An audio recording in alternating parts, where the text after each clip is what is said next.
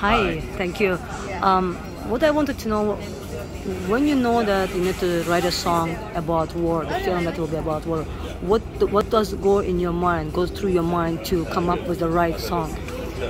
Well, I mean, the whole the whole um, film is about has many colors, but I think maybe the two important colors are one is, you know, that there's a machine going on that soaks in human beings in a way and spits them out as dead, you know, because it's uh, constantly soldiers are coming, they're dying, then they, the new soldiers are coming.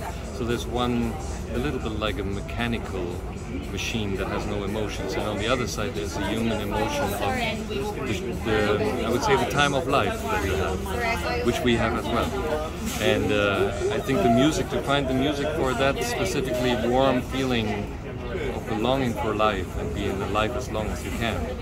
And the other side, uh, the machine that is not thinking about your wishes. I think that was for me um, the two poles in the, in the composition. So I didn't think so much about, in the first place, about the scenes itself. I first of all tried to figure out what the moods are.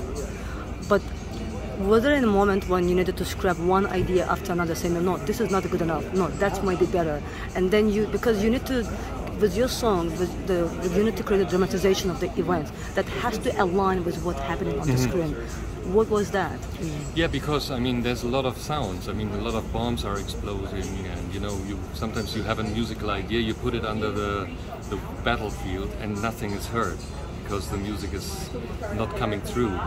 So you have to make decisions, and um, I mean, film music making, I think, is constantly having musical ideas and changing them to fit to the picture. And then, of course, the cut changes, and you have to change certain things. And the dialogue is moving; you have to make space for that. So there's a lot of obstacles that you have to in incorporate.